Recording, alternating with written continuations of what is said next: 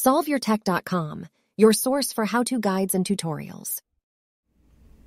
Welcome to our video about how to turn off background app refresh on iPhone 14. If this guide helps you out, then please consider subscribing and liking this video. There's several different options on your iPhone that you can adjust to try and save some battery life. One of those options is background app refresh, which controls whether or not your apps can update their data when you aren't using them. If you would like to turn off this option, then you can do that by tapping the settings icon. You can then scroll down and select the general option.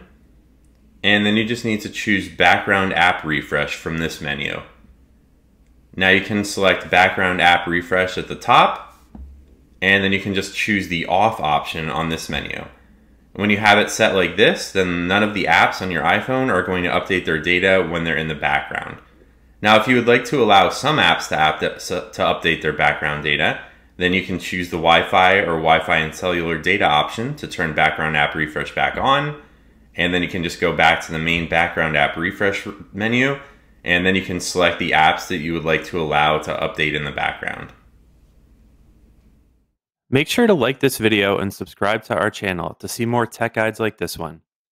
For additional information on this topic and to read the entire article, Click the link in the description to visit solveyourtech.com.